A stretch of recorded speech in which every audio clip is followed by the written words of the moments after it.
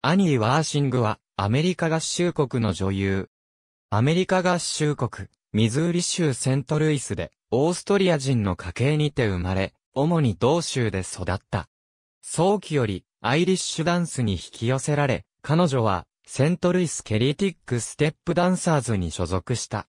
地元セントルイスにある高校を卒業後、ミリキン大学で学び、1999年にミュージカルシアターの学位を取得した。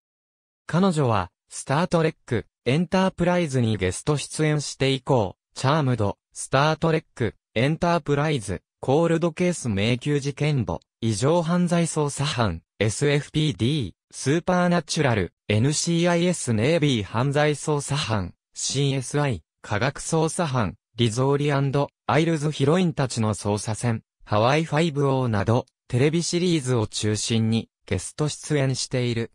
彼女は ABC のテレビシリーズ、ジェネラルホスピタルでは、アミエラ・ジョフイ役で、レギュラー出演。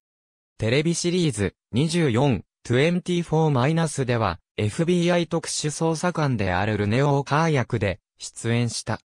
2009年9月、俳優で、コメディアンでもあるスティーブン・フルと結婚。翌年8月に長男を出産した。2013年2月28日に、第2子の妊娠を発表。同年8月に次男を出産した。2013年、テレビドラマ、タッチ、タッチの第2シーズンに、セラピスト役でゲスト出演し、また、レボリューションにも、主要キャラクターの元恋人役でゲスト出演した。ありがとうございます。